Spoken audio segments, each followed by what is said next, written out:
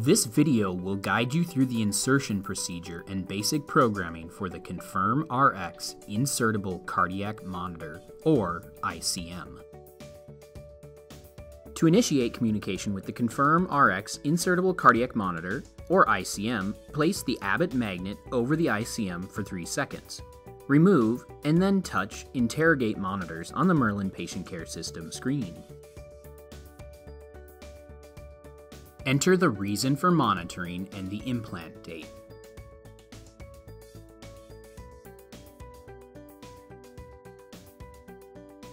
Select the Patient tab and enter the patient information on this screen.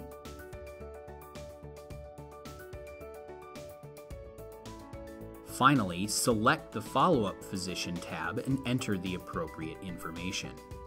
Once finished, select Save and Close to continue. A message will be displayed to confirm appropriate sensing. Wait until after the cardiac monitor has been inserted to press Confirm Sensing. The device is now ready for insertion. The device, the incision, and insertion tools have been sterilized prior to shipment. They are intended for single use only and should not be re sterilized. If the sterile package has been compromised, contact Abbott. Do not insert the device if the dot on the ethylene oxide label is purple. Purple indicates that the package has not been sterilized. Return the device to Abbott. Check the Use Before date on the package label.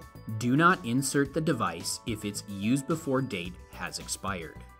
During the procedure, insert the device no deeper than 2 centimeters to ensure reliable data transmission.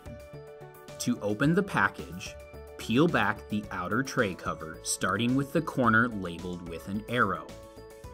Observing sterile technique, lift up the end of the inner tray that rests inside the recess in the outer tray, or flip over the outer tray so that the inner tray falls onto the table.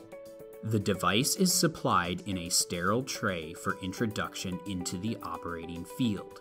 The tray contains one incision tool, one insertion tool, and one cardiac monitor. The Confirm RX ICM is inserted under the skin in the left pectoral region. The primary insertion location is the fourth intercostal space 45 degrees relative to the sternum along the axis of the heart. Additional insertion locations are the fourth intercostal space parallel to the sternum or anterolateral inframammary between the fifth and sixth ribs. For the last insertion location, mapping is recommended. Local anesthetics should be used prior to inserting the Confirm RX ICM. No sedation is required.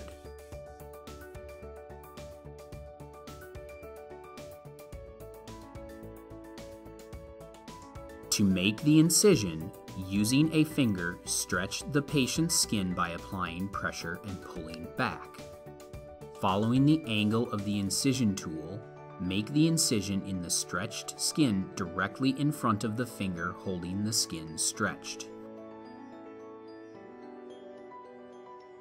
Hold the insertion tool by the wings and rest your thumb against the end of the plunger. Insert the blunt dissection tip into the incision site at a 45 degree angle and then straighten the tool as you push the tip into the subcutaneous layer so that the insertion tool is almost parallel with the patient's chest. Insert the cardiac monitor at an approximate depth of 5 millimeters. Advance the insertion tool until the flared edge meets the incision site. Using one hand, hold the tool in place by gripping the ribbed sides firmly at the incision site.